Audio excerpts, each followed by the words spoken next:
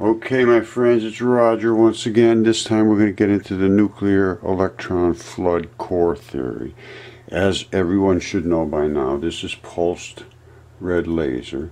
These little white dots are the ether particles, which are free electrons floating in the air, collects on you as static.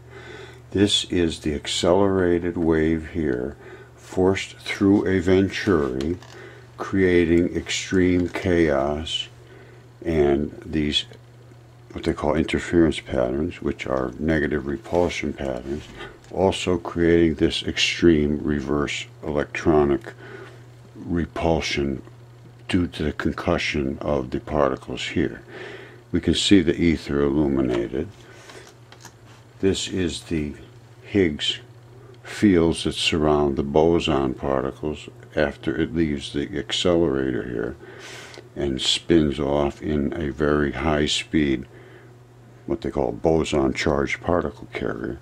This is the concussion of a high speed reverse spinner into a Higgs field. These, which this particle is, something that is smaller than light because these particles are light particles. That's from light from a red laser. This particle beam stream, which is what I'm you know, confronting uh, Ken Wheeler about because he says there's no particles, there's no uh, whatever it is. They are particles. This is accelerated light. That's plasma. Those are the particles. This is repulsive magnetic interference. It's not, be, and it's a single slit, and it's a venturi. Anyway, we're going to go through all this stuff and this shows the actual particle. There's an upspin and a downspin, two dipoles. That is red light. Now, they get bigger and bigger and bigger as you go to green and blue, and then your X rays and gamma rays and all that stuff up until you get nuclear radi radiation, which is big, big chunks that do serious damage. These little ones, we can see them, they don't hurt us because they're too small. The red can't even displace other electrons. The blue displaces other electrons every time. It's just simply a larger particle. Now, I'm going to show you what happens when electrons flood the core. And I can show you in exquisite detail with magnets because it is nothing more than magnetism. All interactions of light and electricity and lightning and every single thing there is that involves energy is strictly due to electrons and magnetism. So what are we looking at here? This is this kind of magnetic paper. Watch. See what happens when you put a... Hold on a second. Hello my friends, today we're going to go over light one more time, magnetism. Now I get a lot of people telling me to look at Ken Wheeler's work, and it's good. I, I've looked at it. I have no real um, argument with some of the things he says, but um, I do have an argument where he says that there is no such thing as a particle and it's never been seen. And, you know, this goes back a couple of years, so maybe he's changed his ways, but um, uh, not that I know of. And so, you know, I, I, I, do look at his work. So, but don't tell me that I have to change my way of thinking because I, I have already seen the particles. But this is what I take away from his thinking. Maybe I'm wrong, but here's what he has to say back then. And I think he's still thinking the same thing. The light is not a wave because a wave is not something. A wave is what something does. Wave! This is a wave. No, it's your hand flapping. No, well, it's a photon. The construct, and it's only that, a construct, it's a concept invented by humanity to try to understand light. The notion of a photon particle is absolutely 100% arbitrary and has no basis in reality, has no basis in nature, and it has no empirical evidence whatsoever. There has never been any such thing as a photon particle ever observed ever. It's absolute nonsense. It's bullshit. If that, if you believe that, then after the end of day of shooting with your camera, you should take the lens off and dump out all those photon particles because your camera must be full of those goddamn photon particles, right? Humanity is not as smart as it thinks it is. All right. Well, he's not as smart as he thinks he is, but I have the evidence. Now, the particles that he is talking about turn into light and heat. They don't turn into bits and pieces of dust. Now, I do have the evidence to support what I'm saying. Okay, this is a pulsed red laser. You see, it's coming through the air. There's no reverse waves. There's nothing. There's a little bit of glow in here, and it's just a, a wave coming through the air. It looks like just a big ball. Now, literally, though, the only thing that is here, there's a dot right there is the particle coming through the air and it owns an enormous region. Now, Ken Wheeler did mention he had a magnet that he could twist and it would spin, uh, it would deflect the cathode ray tube, which is a negative beam of particles. He could deflect that at 23 feet away, which is absolutely fantastic. I understand why. Because it is polarizing the actual particles that are in the air, which are these particles. When he twists it, they're all aligning, plus minus, plus minus, plus minus, and they're going all the way around 23 feet and coming back from the north to the south pole.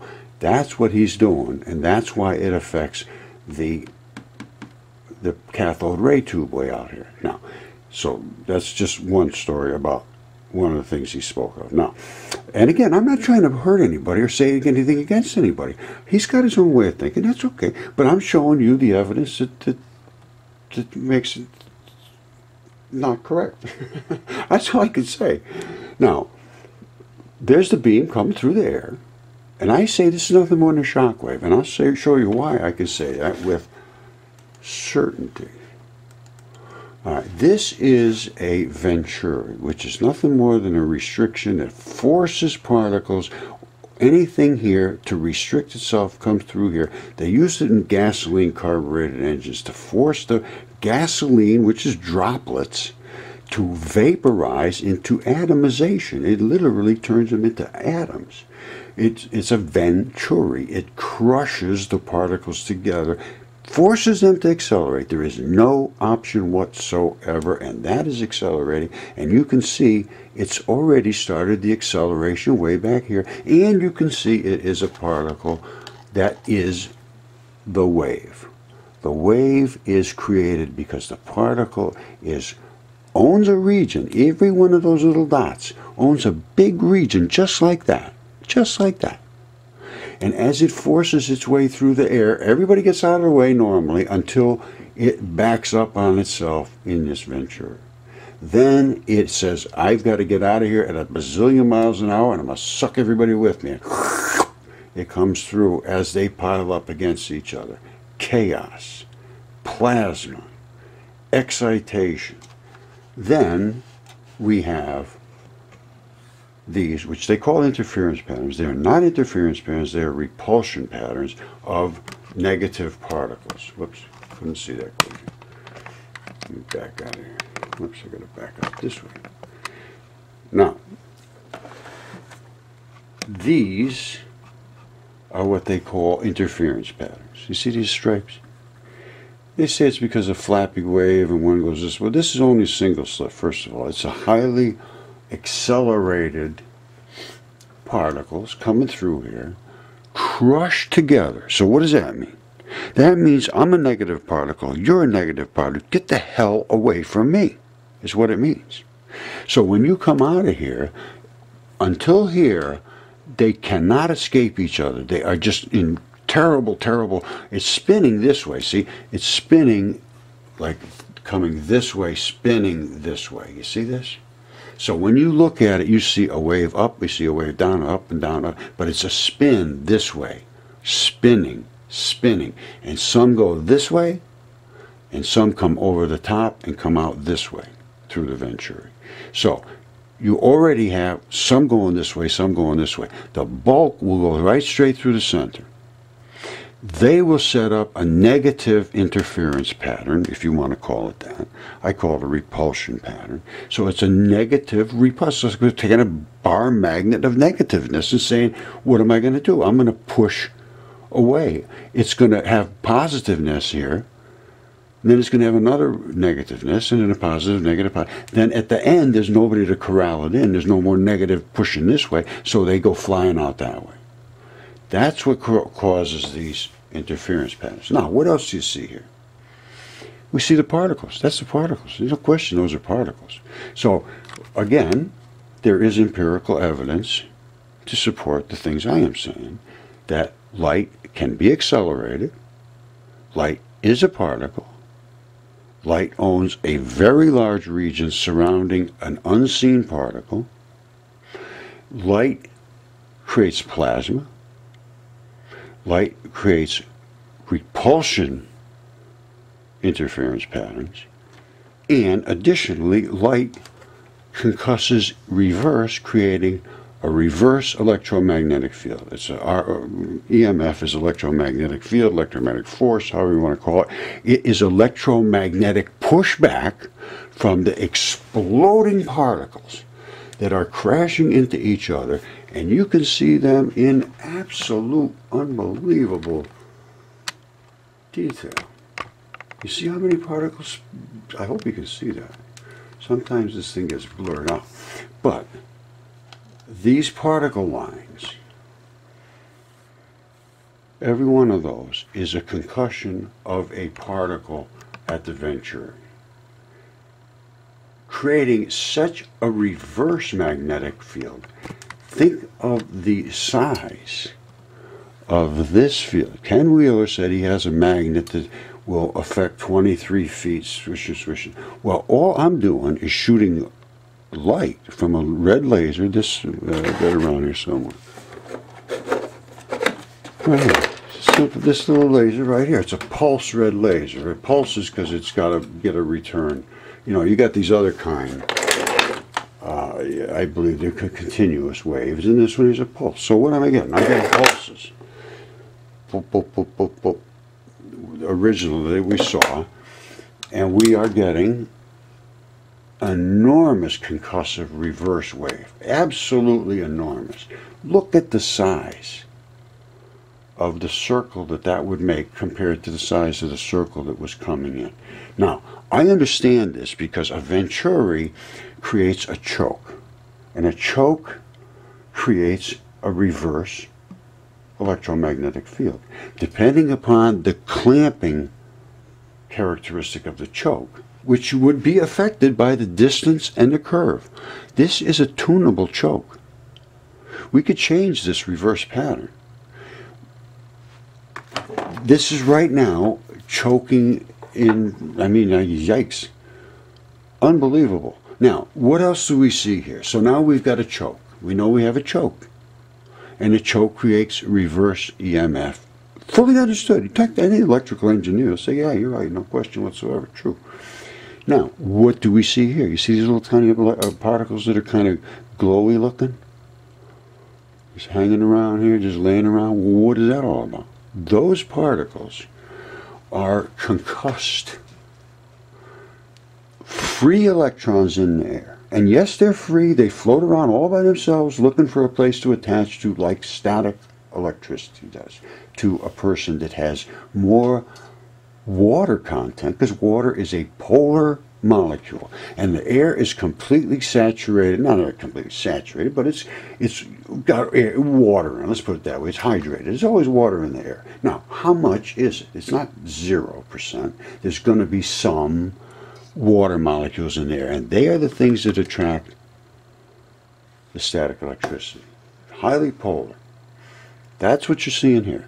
And what are they doing? They are being concussed the same way these are being concussed, only by a wave that is reduced in power. I mean, it's reduced in in in um, amperage and amplitude in, in, in the amount of intensity. See how these real brilliant and they glow, bang, bang, bang, bang, bang. Well, when you're pushing back, you're pushing back like hell, like crazy. However, it's not glowing to the white intensity that it does when the original disc comes through, because the original disc has a little more force to it as it enters the air in front of it. You see and they all glow up pretty uh, pretty strongly because this thing's coming through. And all these guys are just laying around here saying, "Oh, it's nice today. Yeah, having a good time." Get out of the way, and they get out of the way, and they start glowing like crazy to try to get out of the way. So we can see the difference in the intensity of the glow of the concussed particles. You see a little less, less intensity of the concussion. Now, what else is going on?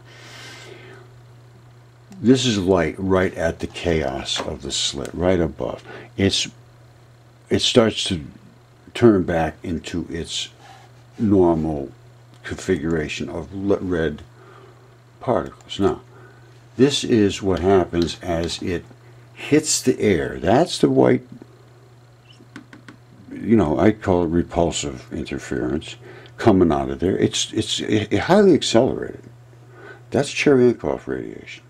These little tiny white filaments, you can't really see them well here. I have other shots where you can see them.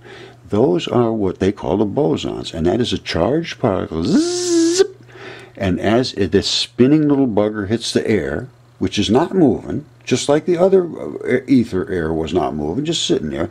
Well, this time it's hitting it so hard that they all polarize around that particle, which is the charged carrier charged particle carrier carries the field with it.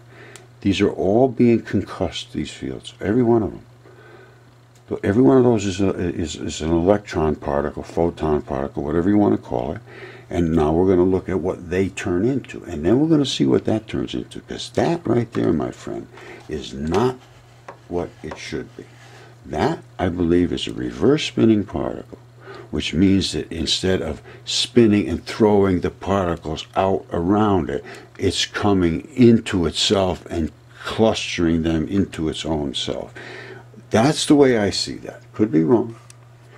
But we've got Cherenkov, we've got high speed charged boson particles, charged, spinning, slamming into the polarized ether, which is nothing more than electrons just laying around in the air, they zip, spin up and start spinning around that polarized particle as it slams through the air. Same thing the Higgs bosons that CERN works with, only they ours are um, you know 8,000 times less heavy. They're, but same particles, identical same particles. But the, they're using only the big ones. They're using protons. We're using light, which is electrons and, and photons positrons. They say they can't see them. Here they are.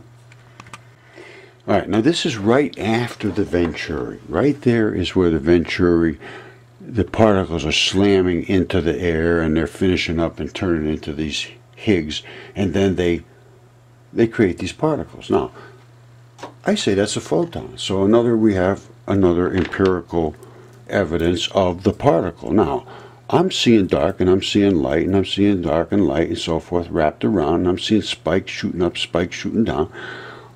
I would, to me, that's a particle. Now, it might not, it might just be energy. I don't know, but I see what I would call a particle. And I say that particle owns that enormous region around itself. And it is stepping down, and then it will become this over here, which is, I don't know what it is. it's just that it changes and gives us two little particle blips.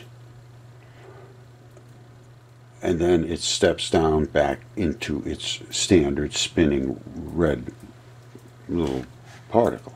Now, what is that? I don't know. I'm looking at that as capacitive and inductive reactance. Hold on. I don't know if has, this is even close, but I'm I was I'm trying to think how would this thing react.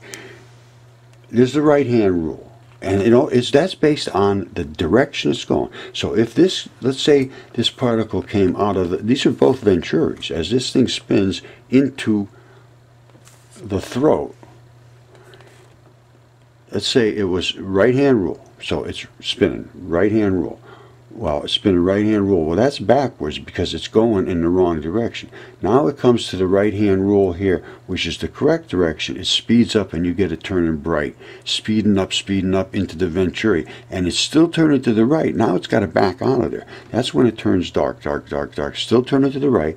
Comes up here, turning to the right. Speed up, speed up, light, light, light, light, light. Speed to the bottom. Still turning to the right. Has to back out. Dark, dark, dark, dark, dark. Because it's the right hand rule says you have to be going this direction and it spins this way. If it's spinning this direction and going the back direction, it's backwards. And I'm going to show you what I, we saw coming backwards. Okay, I just want to make sure you understand. I'm not going against Ken Wheeler, but I do have evidence to support what I'm saying. It is a particle, and it can be accelerated. Light is all these things. Now, that is the nuclear core of a hydrogen atom. The center is positive with an electron floating around it. Well, I say that center is not just a single particle, it is one of these, which is 1837 particles. You see why instead of 1836? Well, there's 918 of positive and 918 of negative plus one additional negative. So when they combine together, they go and all the negatives combine around the positive core. That's called electron flooding. When they do that, they create a negative zone around the positive core, and that keeps an additional electron at a single orbit. And I will show you that now in, in um, tractor beam magnets. All right, there's the positive center. There's the negative surrounding flooded electrons. Then electrons will collect in their orbitals surrounding this, depending upon how many particles here, it will depend on how many electrons here. He's only going to add one with an additional magnet, which will come up here and won't be able to touch. Remember, this is the, the core, which is positive. Then it has surrounding negativeness, which will keep any negativeness additional at bay because it's already got a sufficient number, but it still has an attractive core. Here goes. Now watch this. That's an electron. It's at a quantum distance. It will stay there as this molecule does its daily things, bouncing around, getting warm and cooling down and heating back up. But if it becomes so excited, see now it's getting heat and it's getting warm, it's during the daylight, yeah, jiggling around, well, it'll cool off later. However, if you turn, it got so hot or it got so infiltrated with radiation, it drove that electron away, that's light. All right, so I've just demonstrated one of the principles we're talking about. Now here's another single shot a single slit laser shot that shows you that the light is a spinning particle. That's it's a spinning particle, and as this is uh, the back wall, and the the slit is up here. As it comes through, it spins through the slit. Some goes that way, some comes through this way. That's why you see these exact. You see even the dark spot and the dark spot here. That's because it dives under here, and then it slams into it here behind and then here it comes under and behind and then they go here and here and here. Some hit way over here some hit way over here some hit right in the middle and that's why you get this pattern. And it's a spinning particle you can see that. So anybody can see it spinning